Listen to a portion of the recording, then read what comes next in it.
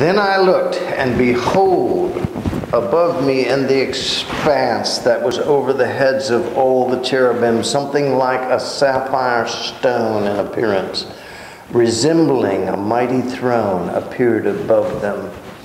And he spoke to the man clothed in linen, and he said, Enter between the whirling wheels under the cherubim, and fill your hands with coals of fire between the cherubim and scatter them over the city.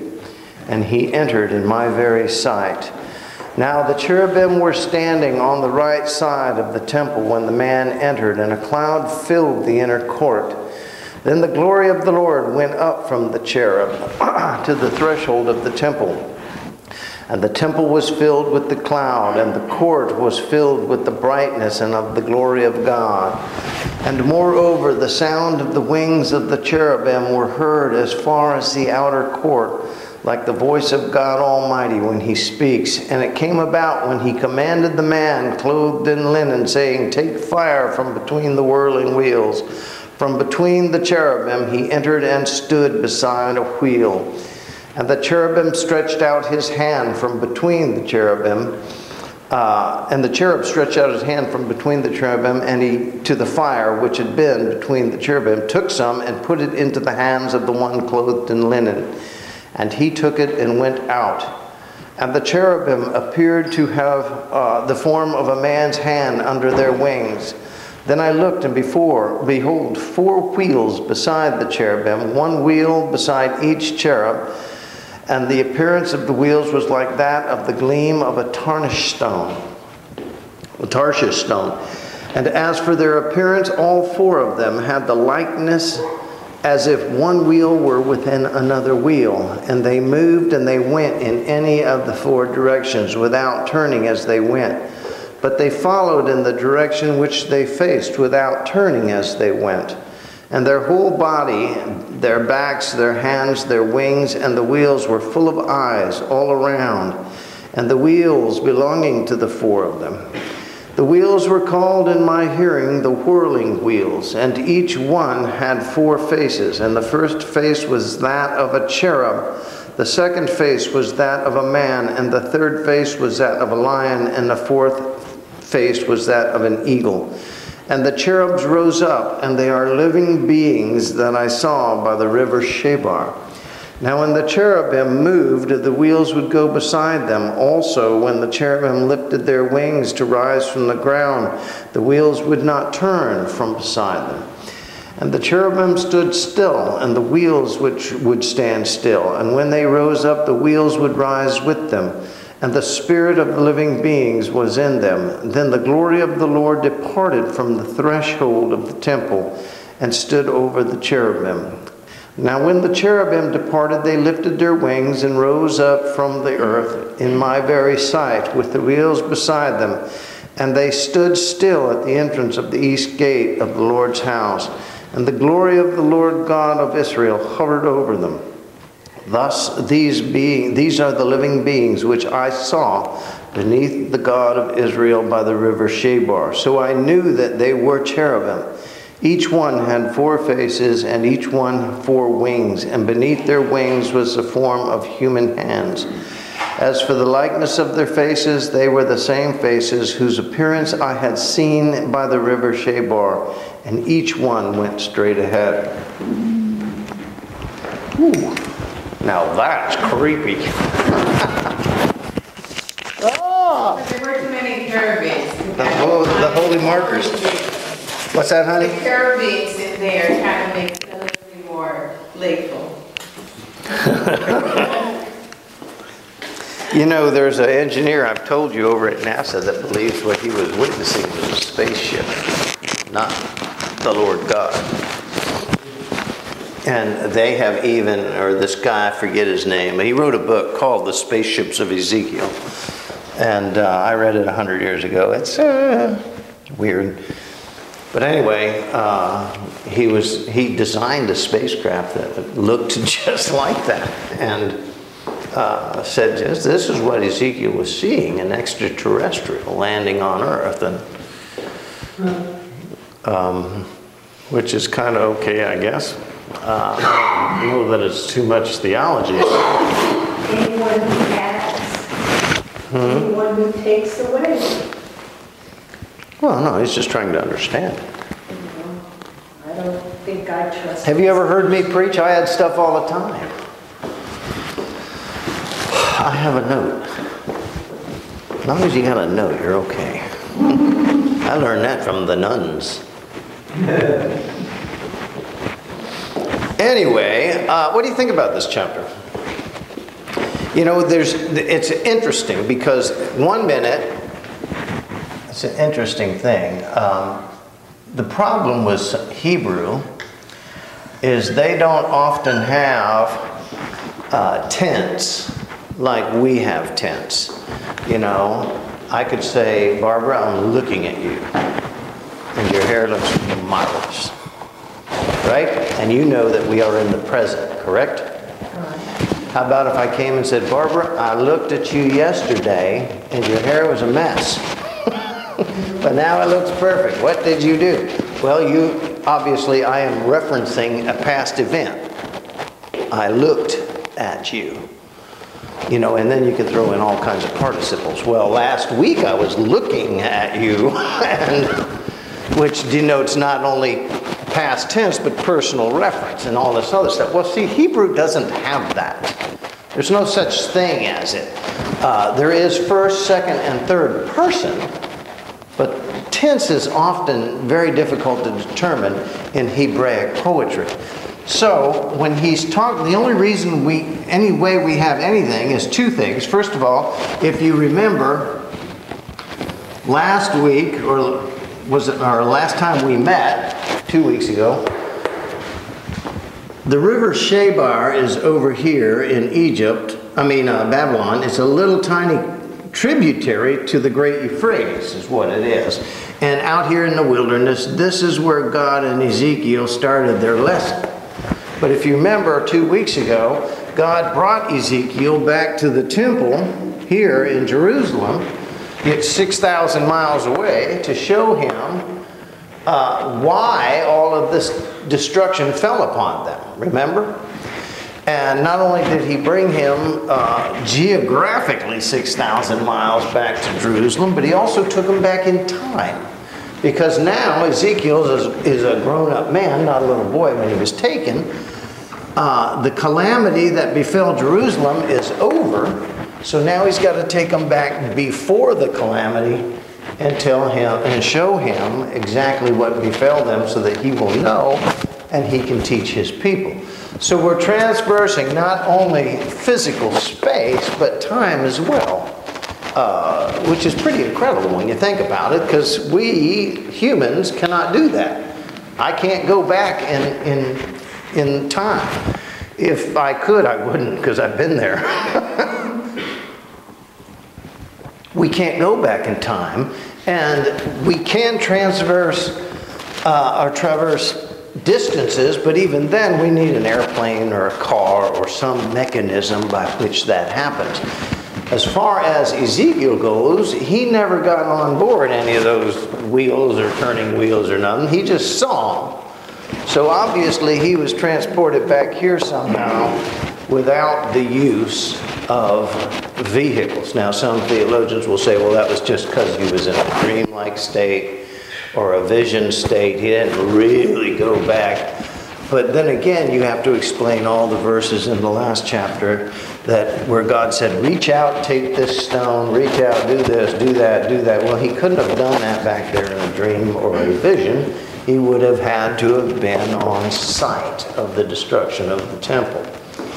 So there's this argument both ways whether this was a vision, whether it was an actual event, whether God actually did take him back in time and space to put him there, or was it just a, a, a dream that he had and God used that dream to uh, teach him what he needed to know? Well, the answer to that question is simple yes. Okay, we're done with that. No, what I mean is God uses dreams. Of course, He uses dreams. Who had a great dream?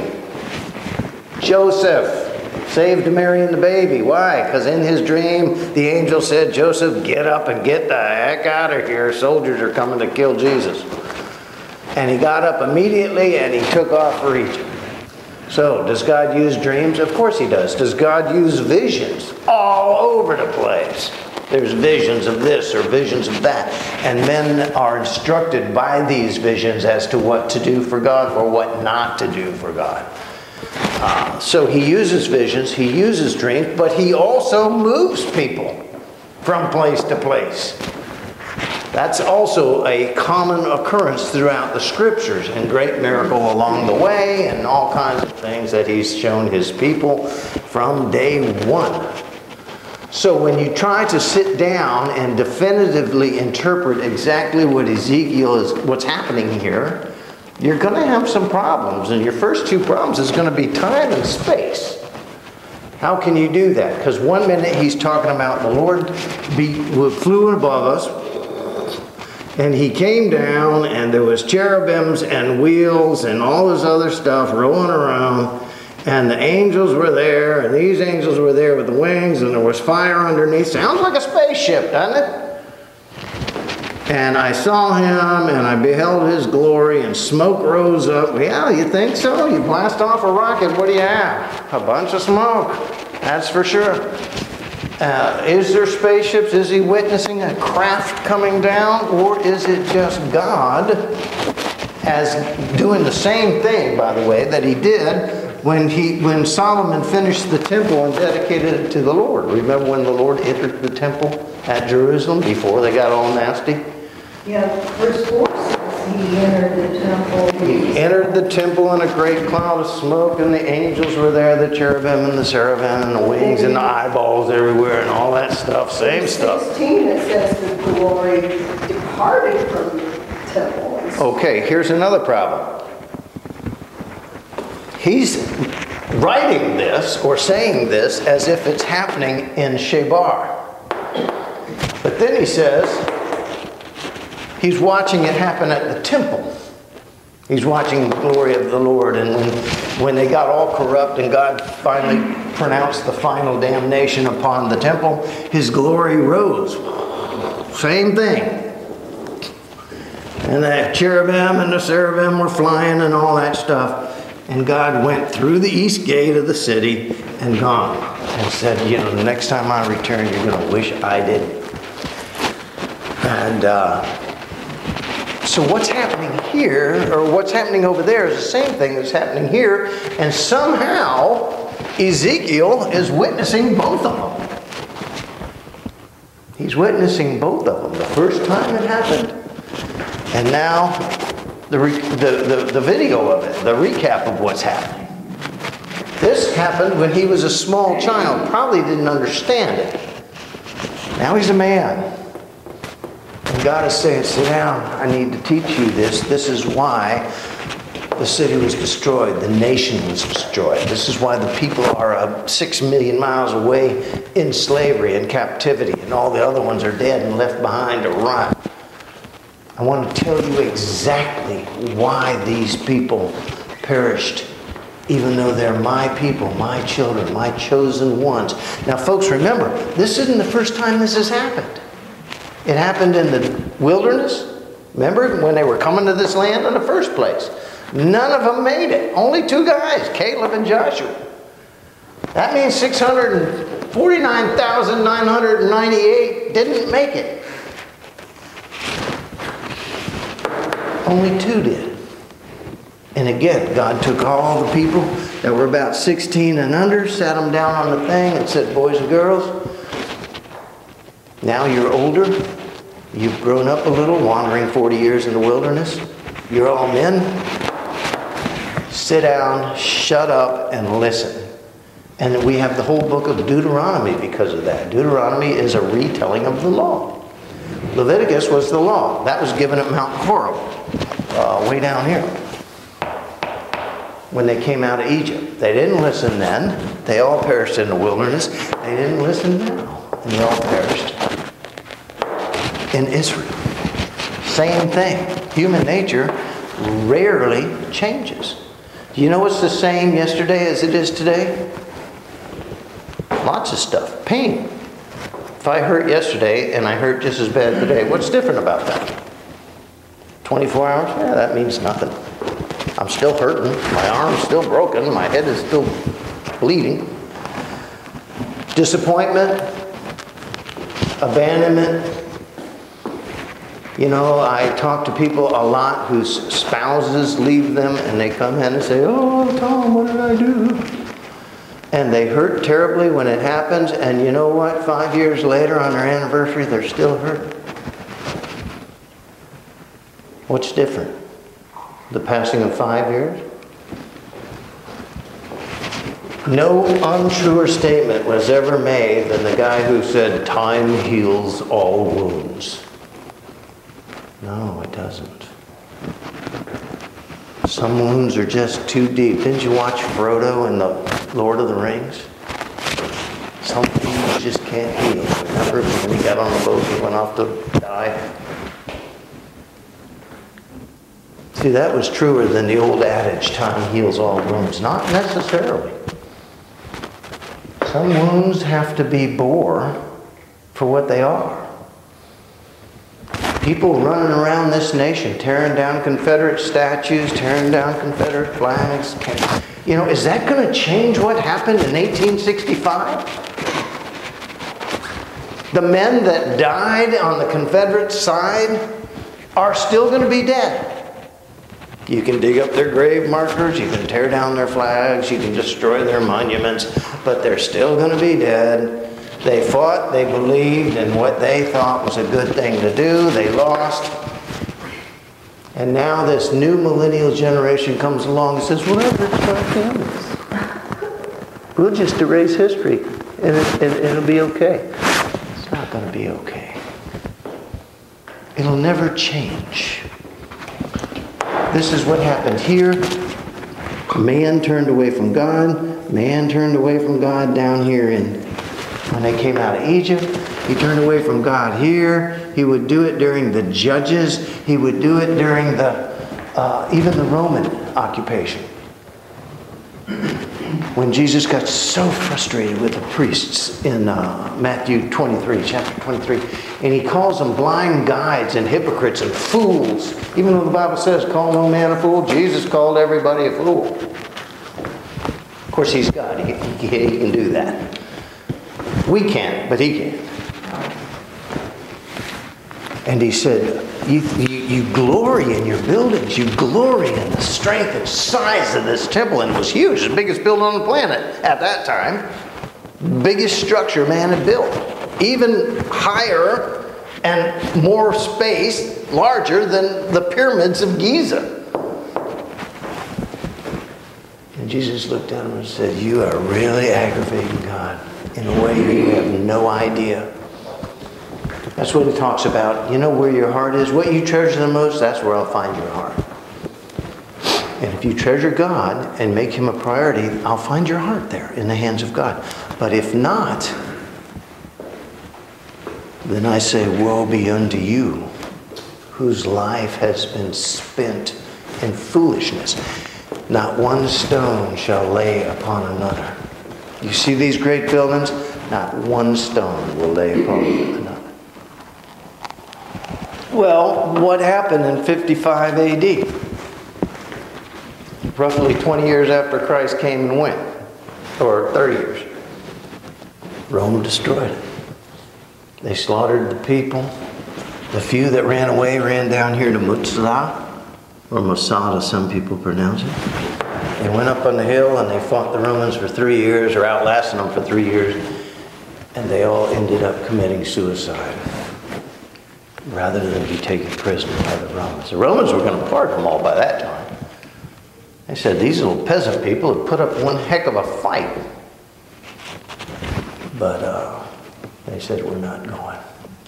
You know to this day that when you turn 16 in Israel, whether you're a male or a female makes no difference. Every 16 year old person in Israel has to join the army for a minimum of two years. They take training, they take gun training, they take shooting, ordnance, bombs, rockets, everything. They learn how to be soldiers. Men women make no difference. And when they graduate, The first six months is spent in intensive training physical, mental, emotional, spiritual, everything. They take them up to the top of Masada, Masada, and they gather them around and they do this ceremony, a graduation ceremony, whereby the 170 or 100, 270, whatever was up there, that all killed themselves in that stuff rather than be taken prisoner by the Romans. And they make each one swear on the Torah, on the scrolls, that this Musada will never happen again in Israel. Ever. You will fight death, not run away and hide. Every kid has to do that. Every kid has to be a soldier. Man, and we look at our little American wimpy kids that, oh, well, mommy didn't put a Twinkie in my lunch today. My whole day is ruined. Oh, jeez, God, Give me a break. These kids are over there learning how to use rocket propelled grenades. And she's a 16 year old girl. You know? How to defend their country because Israel is surrounded by enemies on every side that hate them. Rockets flying into Israel, daily occurrence. There ain't no safe spaces in Israel. That's the difference. Well, where did the why, how, what made the Israelites so tenacious like that? Where'd they get that? Well, studying their own history. What they did, what they failed to do. And in the end, they ran away as cowards and hid on top of a mountain, never again. And they are dead set against that. And if you, you say, well, I don't want to go in the army then you go to jail. Or you're banned, you're thrown out of Israel forever. Say goodbye to everything you've ever known. You're done. The last thing we need is a fainting heart. We need faithful hearts. Well, you know what? Where'd they get that? Their own history, right here. Right here. Right here. That's where they got it. And throw, go ahead and throw Rome in there as well. When they came and destroyed it again. Maybe Israel is finally learning what it means to be faithful. Not just in one thing, but everything. Faithful in God, faithful to country, faithful to family, faithful to spouses, faithful to families. You know, more people have faith in an NFL football team than they have in their own family. Can you imagine that? woman gives her life to a man for 40 years, 50 years, doing everything for him, making his life wonderful, and he cares more about the Green Bay Packers, which he's never even been to before, Green Bay, than he does his wife. You say, Tom, that's not true. Oh, it is. It is true. Sadly, it's true. He cares more about his football game or his Sunday afternoon. You know, I know a few people in this church that are not here and won't be for the next 16 weeks or whatever. Because they got to get a good place in the bar for the football games. How are those football games going to really impact or change your life? I mean, you don't play for them. You've never been to the city. If they win, your life doesn't change. If they lose, your life doesn't change. Unless you bet all your money on them, that could change things, I guess. That doesn't really change your life, that just changes your circumstance. You know, you once had money and now you don't. It doesn't change your life, it just changes your circumstance. You are still who you are. And who are you? Well, you're very unfaithful to your family. You're unfaithful to your Lord. You're unfaithful to your community. In fact, you ought to go up here on top of this mountain and just wait three years and eventually see yourself as worthless to where you kill yourself in some noble act of, will never be taken prisoner. Well, you're not really accomplishing much up on top of that hill, are you? See, everybody makes this a holy site. It wasn't a holy site.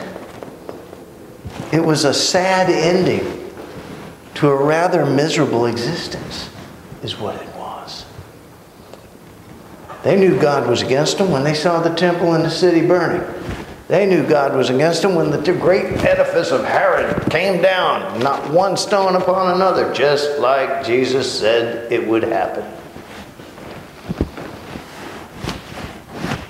Well, you got to scratch your head at that event and say, well, maybe, maybe he was right.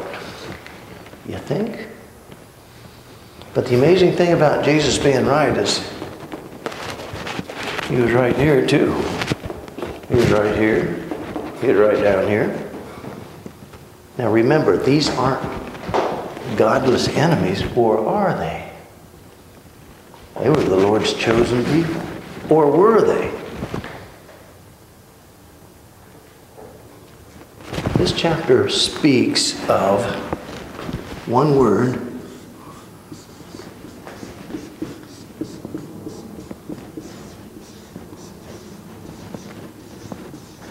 This is the single attribute that God blesses throughout the entire Scripture.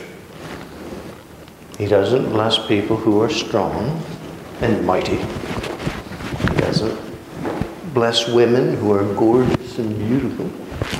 Doesn't bless young men who are talented and can run a million miles an hour. He doesn't bless those who are rich and successful, those who are educated and have degrees all over the world. Who does he bless? Those who are found faithful. Every parable in the Bible speaks about faithfulness, if you really want to stretch some of them. God blesses those who are faithful to Him, He curses those who are not. Question How do we prove ourselves faithful?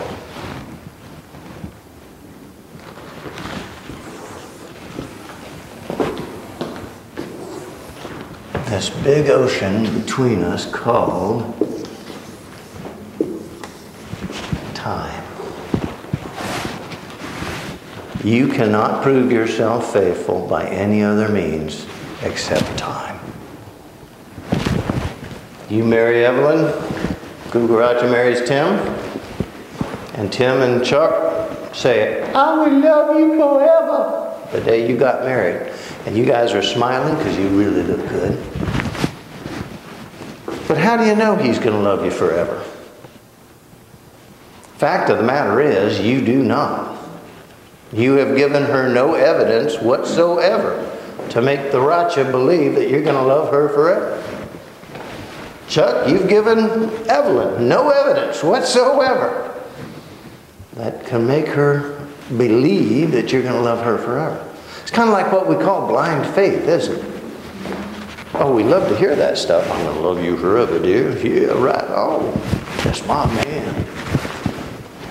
But what if he doesn't? What if, you know, three months into the marriage, he's seeing somebody else? Or six years into the marriage?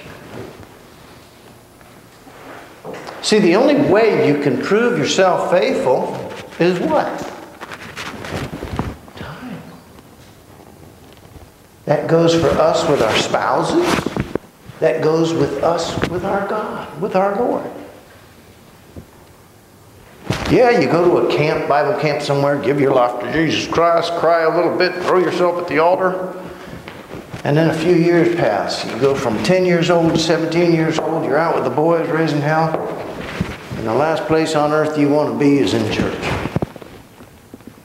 The last name you want to mention in the midst of your group is Jesus.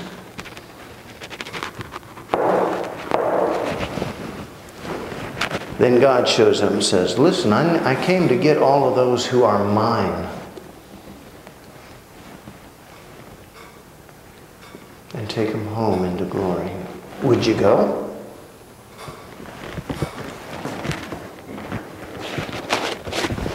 Were you faithful? Jesus said, I know mine and they know me.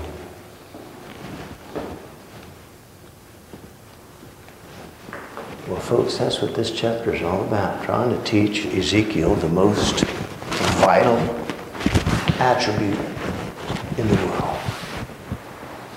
And so far, the Israelites had failed miserably at it. I swear by all that is holy, I stood right there in the altar in front of Carol and swore I'd love her my whole life, no matter what. She heard it and she went, Oh, that's so wonderful. But at that point, had I given her any evidence as to that? None whatsoever. Nothing. Now, 41 years later, when this woman who's not quite the way she was then, got a little, you know, crust on her now, a little aged. Don't tell her I said that. She wakes up in the morning, you know, looking like one of those Japanese Godzilla movies. And I look over and say, I would love you forever. Now she has to read. Now she has reason to believe I'm making that stuff up. of course, I don't look much better. My hair's sticking straight up and all that. She goes, "Do you know how ugly you are in the morning?" It takes all night to get like this. I work at it. But after 41 years of marriage, does she need to worry? Not so much. Especially not with all she makes and I get to live. get to live in a lifestyle to which I have become accustomed. But I can say that now with a little bit more integrity than I did 41 years ago. And the only thing I have to thank for that, well, to God, first of all, because I made my promise to Him. I'm not breaking that. But secondly, I have this to thank time. Time we all see as a curse, right? The great, the great reaper chasing us down. When you're young, he's way, way back. And as you get older, he's getting closer, and he's getting closer, and he's getting closer. And it's a foot race to the grave, you know. We're always trying to outrun time. We hate time. Well, that's one way to look at time, isn't it? Another way to look at time is that's what that's a gift God gives you to prove yourself a faithful woman to your husband, to your church, to your Lord, to your community. You know, we give prizes out to people like that. You know, oh, man of the year, woman of the year. What determines that? Well, she's been a faithful servant of this courthouse for 74 years. Hmm. She deserves an award, right? Why? Because she's been. How about that teacher that's taught in this little school for 100 years? Or that volunteer that's helped in the school for 65 years? The PTA says we need to give her a life award. A life award? Wow. Why didn't you give it to her back when she was 14? Because she hadn't done anything at 14, right?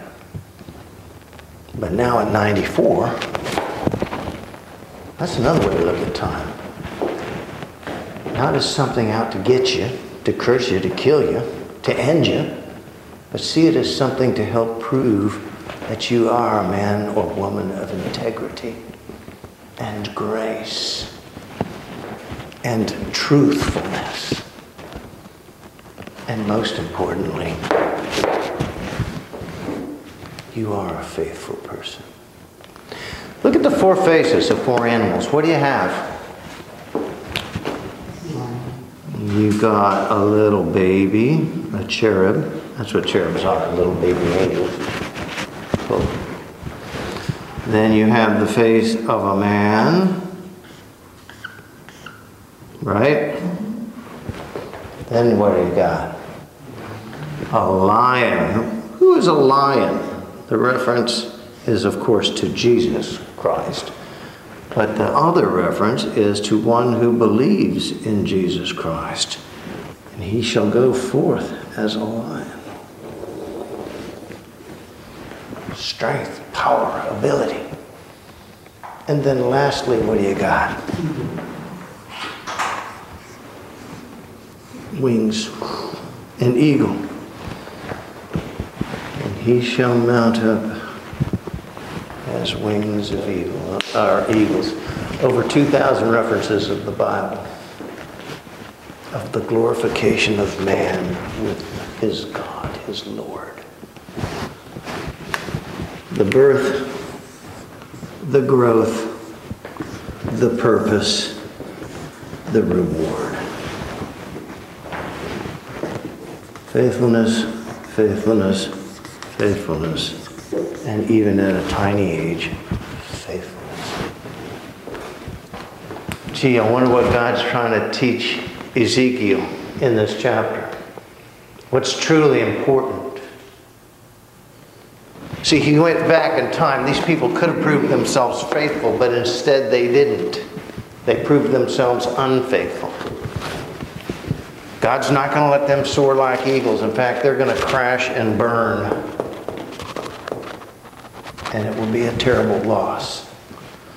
That reminds me of a parable Jesus told. He said one day he's sitting there talking to his boys. He says, You know what? He who believes in me is like a smart man who built his house on a firm foundation. Then the storms came and the waves crashed against it and the lightning struck it and nothing happened to it. It was just fine. Oh, it wasn't easy. You know, life can be difficult sometimes. But in the end, it was just fine. He who believes in me is going to be okay. Oh, it's not always a bed of roses. It's not a walk in the park by any stretch of the imagination. This world is a horrible place. So you can succumb to the world or you can hang in there with me.